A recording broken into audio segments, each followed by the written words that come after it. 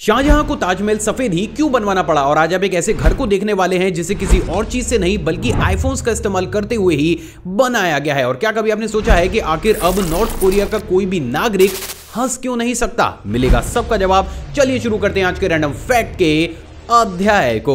Fact number twenty दोस्तों जब भी हमें एक जगह से दूसरी जगह तक की लंबी ट्रैवल करनी होती है तो हमें थकान महसूस होती है। लेकिन क्या आपको पता है कि अगर आप यही काम बर्लिन में करते हैं तो आपको कभी भी थकान महसूस हो ही नहीं सकती। असल में दोस्तों बहुत ही कम लोगों को ये मालूम होगा लेकिन बर्लिन की ऑलमोस्ट सभी सबवेज में कुछ ऐसी ईटेबल टिकट्स को भी दिया जाता है जिसको कि ट्रेवल के बाद आप कुछ इस तरीके से खा भी सकते हैं। उससे भी ज़्यादा अमेजिंग बात यह है दोस्तों कि इन टिकट्स को कुछ ऐसे नेचुरल केमिकल्स का इस्तेमाल करते हुए बनाया जाता है कि जैसे ही कोई भी इंसान इन्हें कंज्यूम करता है, उसका दिमाग और शरीर पूरे ही तरीके से शांत और रिलैक्स हो जाता है। और यही वो कारण है जिसके चलते हुए बर्लिन में लंबी से लंबी ट्रेवल करने के बाद भी कोई भी पैसेंजर कभी थकता ही नहीं है। मतलब अब क्या ही कहने इस कॉन्सेप्ट के। फैक्ट नंबर नाइनटीन क्या आपको बताया कि इस दुनिया में टूनिकेट नाम के ऐसे rare under water sea animals भी मौजूद हैं जो कि जब झुंड में एक जगह से दूसरी जगह ट्रेवल करते हैं तो वो सी वेव्स को कुछ इस तरीके से कन्वर्ट कर देते हैं कि उन्हें देख ऐसा लगता है कि मानो ये कोई सी एनिमल नहीं, बल्कि एक सी ड्रैगन एक जगह से दूसरी जगह ट्रेवल कर रहा हो। लेकिन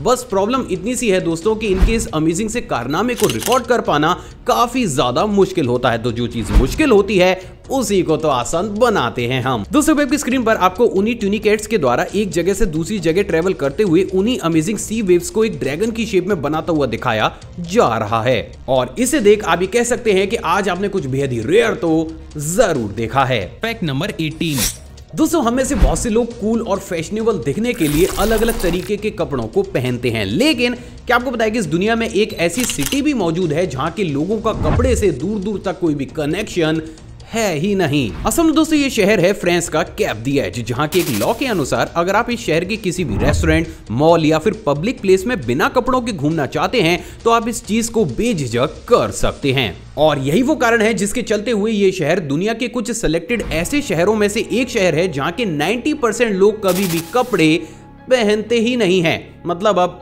छोड़ी दो, क्या ही कहने। फैक्ट नंबर सेवनटीन क्या आपको पता है कि अभी हाल ही में अमेरिकन स्पेस एजेंसी नेसा के द्वारा एक इतिहास को रच दिया गया है। असल में दोस्तों नासा की एक spacecraft the Parker solar probe ने सबसे पहली बार सन की अपर एटमोस्फेरिक लेयर को टच किया है, जिसका की टेम्परेचर नौ लाख निन्यानवे हज़ार सात सौ छब्बीस डिग्री सेल्सियस के आसपास रहता है और इसीलिए इस कारनामे को नेक्स्ट टू इम्पॉसिबल माना जा रहा है। तो अगर ये चीज़ इतनी ज़्यादा औसम है तो इसकी एक एक्सक्लूसिव वीडियो क्लिप दिखाने की ज़िम्मेदारी तो इस चैनल की बनती ही है। दोस्तों वेब की स्क्रीन पर आपको उसी ऐतिहासिक कारनामे की एक बेहद ही एक्सक्लूसिव वीडियो दिख रही है, जिसे देख आप ये कह सकते हैं कि आज आपने कुछ बेहद ही दिलचस्प तो ज़रूर देखा है। तो माई इंडिया आर्मी इन्हीं तरीके के और ज़्यादा अमेजिंग अमेजिंग फैक्ट्स देखने के लिए आप इस चैनल को सब्सक्राइब कर उस बेल आइकन को प्रेस कर सकते हैं। फैक्ट नंबर सिक्सटीन क्या आपको पता है कि इस दुनिया में स्कूटर्स के इन्वेंशन से पहले ही यूके में कुछ इस तरीके के पैडल मिनी स्कूटर्स को बनाकर तैयार किया गया था, जिनको कि एक जगह से दूसरी जगह चलाने के लिए कुछ इस तरीके से पैरों से पुश किया जाता था। अमेजिंग बात ये थी दोस्तों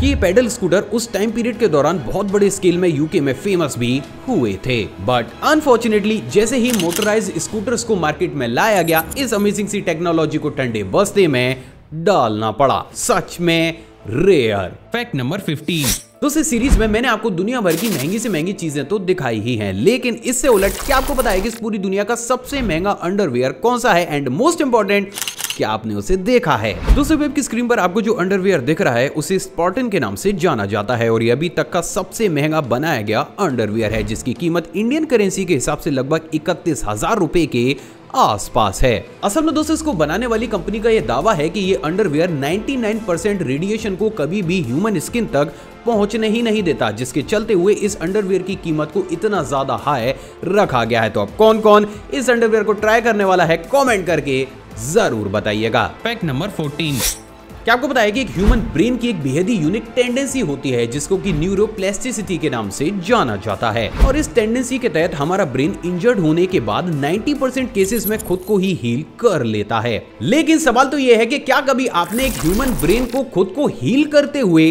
देखा है? नहीं तो माई इंडिया आर्मी तैयार हो जाइए कुछ बेहद ही दिलचस्प देखने के लिए। दोस्तों, अभी आपकी स्क्रीन पर आपको एक ह्यूमन ब्रेन के द्वारा अपनी डैमेज हुई ब्लड वेसल्स को दोबारा से रिपेयर कर कनेक्ट करता हुआ दिखाया जा रहा है। और इस वीडियो क्लिप को देखने के बाद आप ये कह सकते हैं कि आज आपने थ्योरी से ऊपर उठ, हकीकत में कुछ बेहद ही इंटरेस्टिंग तो ज़रूर देखा है। फैक्ट नंबर थर्टीन दोस्तों, अगर मैं आपसे पूछूँ कि एक टायर की शेप क्या होती है तो आप में से ऑलमोस्ट लोग बोलेंगे गोल। लेकिन क्या हो कि अगर मैं आपसे कहूँ कि भविष्य में आने वाले टायर्स हमें गोल शेप की बजाय अलग अलग शेप्स के भी देखने को मिल सकते हैं तो क्या आप मेरी बात पर विश्वास करेंगे। असल में दोस्तों, साल 2018 में यूएसए की ग्राउंड एक्स व्हीकल टेक्नोलॉजीज़ के द्वारा यूएसए आर्मी के लिए कुछ इस तरीके के ऑटो शेप चेंजर व्हील्स को बनाकर तैयार किया गया था, जो कि अपने आप ही रोड सिचुएशंस के अकॉर्डिंग कुछ इस तरीके से अपनी शेप को चेंज करके उस व्हीकल को मैक्सिमम स्पीड स्टेबिलिटी और परफॉर्मेंस प्रोवाइड कराते थे। अमेजिंग बात ये दोस्तों की अब ये कंपनी इस टेक्नोलॉजी को आर्मी से बाहर निकाल आम लोगों के लिए भी ला रही है। तो ये कहना की फ्यूचर में हमारी कार के अंदर भी कुछ इस तरीके के टायर्स हमें देखने को मिलेंगे ये काफ़ी हद तक सही ही होगा। फैक्ट नंबर ट्वेल्व क्या आपको पता है कि अफ्रीका में मौजूद फुलनी ट्राइब में शादी की परंपरा एक ऐसे लेवल पर पहुँच गई है जिसे देख आपकी भी आँखें फटी की फटी रह जाएँगी। असल में दोस्तों इस समुदाय में जब भी कोई भी लड़का लड़की देखने जाता है तब उस लड़की के घर वाले उस लड़के को कुछ इस तरीके से बहुत बुरी तरीके से पीटते हैं। और अगर वो लड़का उस पिटाई के दौरान ज़िंदा बच जाता है तो ये समझा जाता है कि वो लड़का उस लड़की के लिए बिल्कुल ही परफेक्ट है और उसी के बाद उस लड़के की उस लड़की के साथ शादी कर दी जाती है। वैसे अगर ये प्रथा हमारे देश में आ जाए तो भाई कुवारा रहना ही काफ़ी ज़्यादा बेटर ऑप्शन है। फैक्ट नंबर इलेवन दोस्तों हम सभी ने बचपन में इस गेम को तो ज़रूर खेला होता है जहाँ पर हम दूसरे लोगों को ये चैलेंज देते हैं कि वो बिना अपनी पलकों को झपकाए किसी भी ऑब्जेक्ट को काफ़ी लंबे समय तक देखते रहे। एंड अगर आपने भी इस गेम को खेला है तो बिलीव मी फिलीपींस के पाओलो बेलेस्ट्रॉस आज आपके आइडियल बन जाएँगे। असल में दोस्तों पाओलो के नाम बिना अपनी पलकों को झपकाए काफ़ी लंबे समय तक किसी एक ऑब्जेक्ट को देखने का वर्ल्ड रिकॉर्ड हासिल है, जिसमें इन्होंने एक घंटा, सत्रह मिनट और तीन सेकंड तक बिना अपनी पलकों को झपकाए एक ऑब्जेक्ट को देखा था। एंड गेस वॉट आज तक भी इनके इस वर्ल्ड रिकॉर्ड को कोई भी ब्रेक नहीं कर पाया है which is quite incredible fact number ten क्या आपको बताया कि अभी हाल ही में नॉर्थ कोरिया ने अपने नागरिकों के हंसने और ड्रिंक करने पर ही पाबंदी लगा दी थी, लेकिन आखिर एक कंट्री को ऐसा क्यों करना पड़ा? असल में दोस्तों नॉर्थ कोरियन गवर्नमेंट ने अपने पूर्व नेता किम जॉन इल की दसवीं पुण्यतिथि पर उनको श्रद्धांजलि देने और उनके बेटे और वर्तमान नेता किम जॉन उनके प्रति लोगों से ज़ोर ज़बरदस्ती वफादारी दिखाने के चक्कर में वहाँ की सरकार के द्वारा नॉर्थ कोरिया के लोगों पर 11 दिन तक हंसने और ड्रिंक करने पर ही पाबंदी लगा दी। और ये चीज़ अपने आप में काफ़ी ज़्यादा अजीब थी, जहाँ पर एक देश के नागरिकों को ज़ोर ज़बरदस्ती हंसने से ही रोक दिया गया था। मतलब वैसे ही इस इंसान के चक्कर में नॉर्थ कोरिया में मनुष्यत फैली रहती है लेकिन अब तो ये इस चीज़ को एक्सट्रीम लेवल पर ले गए हैं। Fact number nine. क्या आपको बताया कि अभी हाल ही में पुडुचेरी की एक बेकरी के द्वारा भारत में सबसे पहली बार महाकवि सुब्रमण्य भारती जी को श्रद्धांजलि देने के लिए उनकी 6.6 फीट लंबी और 488 किलोग्राम वजनी चॉकलेट की प्रतिमा बनाकर तैयार की गई है। अमेजिंग बात यह दोस्तों कि इस प्रतिमा को बनाने में इस बेकरी को 104 घंटों का समय लगा है। और इसी के साथ ये सुब्रमण्य जी की भारत में मौजूद अभी तक की सबसे बड़ी चॉकलेट प्रतिमा बन गई है। सच में शानदार। Fact number eight. आपको पता है कि इसराइल इस पूरी दुनिया का सबसे पहला ऐसा देश बन चुका है जिसने अपने ऑलमोस्ट सभी पब्लिक प्लेसेस में कुछ इस तरीके की अजीब सी वॉल्स को इंस्टॉल किया है। लेकिन आखिर ये बोला क्या है? असल में दोस्तों, इन वॉल्स को मेमोराइजिंग वॉल्स के नाम से जाना जाता है और इन्हें कुछ इस तरीके से डेवलप किया जाता है कि हवा के थ्रू रोटेट करके अपनी शेप को चेंज करते हुए बहुत बड़े अमाउंट में इलेक्ट्रिसिटी को प्रोड्यूस करती हैं, जिसका की इस्तेमाल उसी पब्लिक प्लेस को रात में रोशन करने के लिए किया जाता है। और ये वास्तव में परफेक्ट एग्ज़ाम्पल है एक्सट्रीम लेवल की क्रिएटिविटी का। फैक्ट नंबर सेवन दोस्तों आपने हमारे देश के द्वारा बनाई गई काफ़ी महँगी महँगी चीज़ें या फिर मॉन्यूमेंट्स तो ज़रूर देखे होंगे। लेकिन अगर मैं आपसे पूछूँ कि भारत के इतिहास का अभी तक का सबसे महँगा प्रोजेक्ट कौन सा है तो क्या उसका बिल्कुल सटीक आंसर आपके पास मौजूद होगा। असल में दोस्तों, बहुत ही कम लोगों को यह मालूम होगा, लेकिन भारत अभी तक के इतिहास के सबसे महँगे प्रोजेक्ट पर काम कर रहा है, और वो है खुद का इंटरनेशनल स्पेस स्टेशन बनाना, जिसको कि इसरो के द्वारा साल 2030 के आसपास स्पेस में लॉन्च किया जाएगा। और दोस्तों, बात अगर इसकी कीमत की की जाए तो ये लगभग अस्सी हज़ार करोड़ रुपए के आसपास खर्च करने के बाद बनेगा। और यही वो कारण है जिसके चलते हुए ये प्रोजेक्ट इंडिया के इतिहास का अभी तक का सबसे महँगा और बड़ा प्रोजेक्ट माना जा रहा है। तो माई इंडिया आर्मी इस अमेजिंग फैक्ट पर इस वीडियो पर एक लाइक तो बनता ही है। फैक्ट नंबर सिक्स दोस्तों जहाँ इस दुनिया के बहुत से देश पॉपुलेशन को कंट्रोल करने के लिए लोगों को जागरूक कर रहे हैं तो वही क्या आपको पता है कि इस दुनिया में एक ऐसा देश भी मौजूद है जहाँ पर अगर आपके घर में कोई भी बच्चा पैदा होता है तो वहाँ की गवर्नमेंट आपको दो लाख रुपए इनाम के तर्ज पर देती है। लेकिन आखिर ऐसा क्यों? असल में दोस्तों, बहुत ही कम लोगों को ये मालूम होगा, लेकिन ग्रीस की पॉपुलेशन बहुत तेज़ी के साथ कम होती हुई चली जा रही है। और अगर ऐसा ही चलता रहा तो आगे आने वाले 10 सालों में यहाँ की पॉपुलेशन मात्र 30 लाख ही रह जाएगी, जिससे उभरने और अपने देश को वापस ट्रैक पर लाने के लिए ग्रीस गवर्नमेंट साल 2020 के बाद पैदा हुए हर एक बच्चे के पेरेंट्स को इनाम के तर्ज पर दो लाख रुपए दे रही है। मतलब अलग ही लेवल का लॉजिक है ये तो।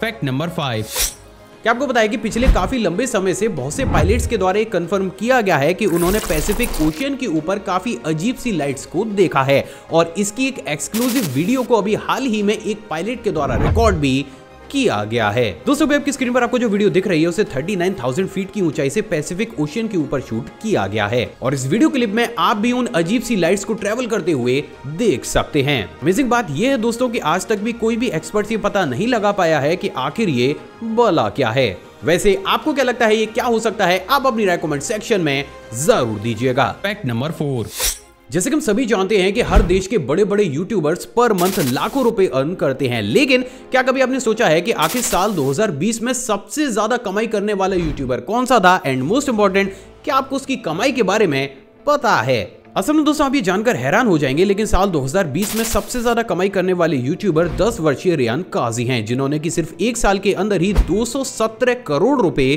कमाए थे। और ये चीज़ अपने आप में एक रिकॉर्ड है। फैक्ट नंबर थ्री दूसरे वाला फैक्ट करंट अफेयर की तर्ज पर है। क्या आपको पता है कि अभी हाल ही में दुबई गवर्नमेंट 100 परसेंट पेपरलेस होने वाली दुनिया की सबसे पहली गवर्नमेंट बन गई है। अमेजिंग बात यह है दोस्तों कि अब दुबई गवर्नमेंट के सभी इंटरनल और एक्सटर्नल लेन देन और प्रक्रियाएँ 100 परसेंट डिजिटल रूप में की जाएँगी। जो चीज़ वास्तव में काफ़ी ज़्यादा इम्प्रेसिव ज़रूर है। फैक्ट नंबर टू दोस्तों हम सभी अपने घरों की वॉल्स को अट्रैक्टिव दिखाने के लिए उन्हें अलग अलग चीज़ों से डेकोरेट या फिर पेंट कराते हैं। लेकिन क्या आपको पता है कि इस दुनिया में एक ऐसा घर भी मौजूद है जिसकी वॉल्स को किसी और चीज़ से नहीं बल्कि आईफोन्स का इस्तेमाल करते हुए ही बनाया गया है। मिलिए वियतनाम के ग्यूहैन मिनियन हियन से जिन्होंने की 2000 से भी ज़्यादा पुराने और खराब हो चुके आईफोन्स को खरीद कर अपने घर की मेन एंट्रेंस वाली वॉल पर ही कुछ इस तरीके से लगवा डाला। अमेजिंग बात यह है दोस्तों कि गुहैन को ऐसा करने के बाद रातों रात ही वियतनाम में काफ़ी बड़े स्केल पर पॉपुलैरिटी भी मिल गई। और ये चीज़ वास्तव में काफ़ी ज़्यादा अजीब है, जहाँ पर एक शख्स ने अपने घर को कुछ अलग दिखाने के लिए ही कुछ इस तरीके के अजीब से कारनामे को ही करवा डाला। फैक्ट नंबर वन शाहजहां को ताजमहल सफ़ेद ही क्यों बनवाना पड़ा? असल में दोस्तों, बात अगर प्रेजेंट डेट की की जाए तो प्रेजेंट डेट में भारत के अंदर 116 ऐसे मॉन्यूमेंट्स मौजूद हैं जो कि आर्कोलॉजिकल सर्वे ऑफ़ इंडिया के अंडर आते हैं। और बात अगर उन 116 मॉन्यूमेंट्स की की जाए तो ताजमहल भारत का सबसे बड़ा ऐसा स्मारक या मॉन्यूमेंट है, जिसको कि इतने बड़े स्केल पर सफ़ेद संगमरमर का इस्तेमाल करते हुए बनाया गया है। जबकि बात अगर उस समय के दूसरे मॉन्यूमेंट्स की की जाए तो उन्हें लाल और क्रीम कलर के स्टोन्स का इस्तेमाल करते हुए बनाया जाता था। तो फिर सवाल तो ये उठता है कि जब उस समय पूरी ही दुनिया लाल और क्रीम कलर के स्टोन्स के पीछे पड़ी हुई थी तो शाहजहां ने ताजमहल को सफ़ेद संगमरमर का इस्तेमाल करते हुए क्यों बनाया? असल में दोस्तों, इसके पीछे काफ़ी ज़्यादा थ्योरीज हैं जिनको कि वन बाय वन मैं आपके सामने रखूँगा। बात अगर सबसे पहली थ्योरी की की जाए तो वो है जन्नत थ्योरी असल में दोस्तों, प्राचीन विद्वानों की बात अगर मानी जाए तो कहीं ना कहीं ये बात पूरी तरीके से साफ़ हो चुकी है कि शाहजहां ताजमहल को जन्नती आभास देना चाहते थे। यानी कहीं ना कहीं शाहजहां का ये मोटिव था कि जब भी कोई भी इंसान ताजमहल को विज़िट करने आए तो उसको ऐसा लगे कि वो इंसानी दुनिया से दूर जन्नत में आ गया हो। अब क्योंकि व्हाइट कलर पीस और रिलैक्सेशन को लेकर आता है तो कहीं ना कहीं ये कारण हो सकता है, जिसके चलते हुए शाहजहां ने पूरे ही ताजमहल को व्हाइट संगमरमर का इस्तेमाल करते हुए बनवाया था। अब दोस्तों, बात अगर दूसरी थ्योरी की की जाए तो वो है मुमताज़ महल का फेवरेट कलर असल में दोस्तों, बहुत से प्राचीन दस्तावेजों से बात पूरी तरीके से साफ़ हो चुकी है कि मुमताज़ महल को व्हाइट कलर काफ़ी ज़्यादा पसंद था। तो कहीं ना कहीं ये पॉसिबिलिटी भी बनती है, जिसके चलते हुए शाहजहां को ताजमहल व्हाइट कलर का ही बनवाना पड़ा। अब दोस्तों, बात अगर तीसरी थ्योरी की की जाए तो वो है साइंटिफिक थ्योरी असल में दोस्तों, ताजमहल के निर्माण से कुछ साल पहले ही भारत के मकराना में व्हाइट मार्बल की खोज की गई थी और ये बात पूरी तरीके से साफ़ है कि व्हाइट मार्बल उस समय का खोजा गया सबसे ज़्यादा आधुनिक मार्बल था, क्योंकि उस समय के एयर पोल्यूशन के चलते हुए इस मार्बल पर किसी भी प्रकार की केमिकल रिएक्शंस नहीं होती थी। तो अब यहाँ पर सबसे बड़ी पॉसिबिलिटी ये भी जनरेट होती है कि क्योंकि ये मार्बल उस समय का सबसे ज़्यादा आधुनिक मार्बल था तो शाहजहां ने पैसे की चिंता ना करते हुए काफ़ी ऊँचे दामों पर इसी मार्बल का यूज़ करते हुए अपने दिल की सबसे खास बिल्डिंग को व्हाइट मार्बल का यूज़ करते हुए ही बनवाया। तो फाइनली अब आप उन सभी थ्योरीज के बारे में भी जानते हैं जो हमें ये बताती हैं कि आखिर क्यों शाहजहां को ताजमहल सफ़ेद कलर का ही बनवाना पड़ा। दोस्तों, किसी ने खूबी कहा कि पैरोगैन जितना ज़्यादा बांटा चाहे उतना ही कम है तो इस वीडियो को दिल खोलकर लाइक शेयर और कमेंट ज़रूर कीजिएगा। आप चाहें तो मुझे इंस्टाग्राम पर भी फॉलो कर सकते हैं, वहाँ भी मैं शॉर्ट शॉर्ट फैक्ट्स और बैक से मोमेंट्स को टाइम टू टाइम शेयर करता रहता हूँ। साथ ही साथ, अपनी नॉलेज को और ज़्यादा बूस्ट करने के लिए आप इस प्ले को भी चेकआउट कर सकते हैं। जय हिंद।